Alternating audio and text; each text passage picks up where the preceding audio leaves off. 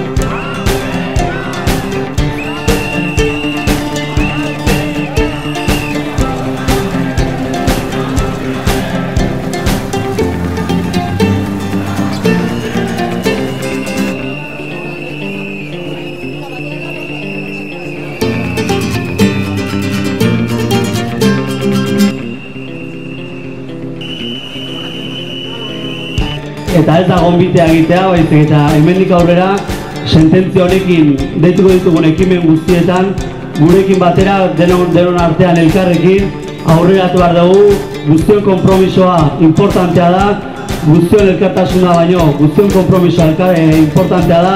Beraz bihar e, goizteko amaiketarietan agerraldian ikusiko goralakoan eta gainuntzean ditugu ditugun ekipen guztietan elkarrekin Horrengoan igualez, baina ziur gaude aurrera bidean, eten eta geldituko ditugula epaikita hauek guztiak.